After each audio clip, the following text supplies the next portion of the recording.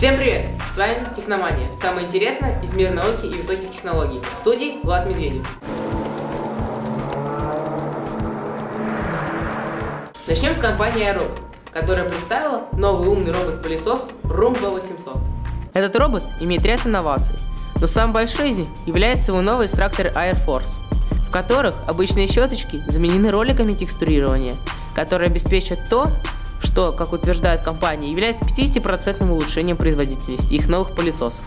Кроме того, серия 800 может обнаружить грязь, мусор и выделить особо загрязненную территорию в квартире. У него есть режим уборки, который может быть активирован от пульта дистанционного управления.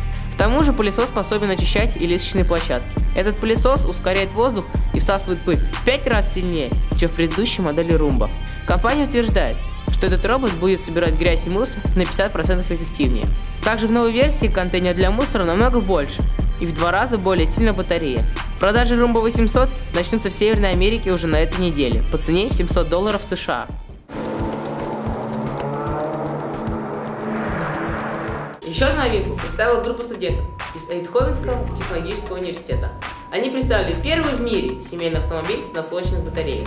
Новая разработка получила название Stella. Она может перевозить до 4 человек одновременно. Она оснащена грузовым отделением, а также системой управления интуитивного типа. Запас хода данного авто достигает 600 км. Солнечные аккумуляторы автомобиля вырабатывают большее количество энергии, нежели нужно машине и лишнее электричество выбрасывается в специальную систему электроэнергетики, которая делает новинку на самом деле эксклюзивной.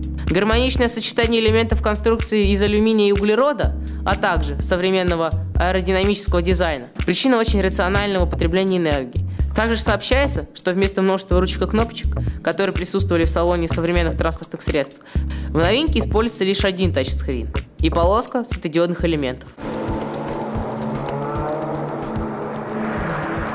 На этом все. С вами была Техномания. Я ведущий Влад Медведев. До новых встреч. Пока.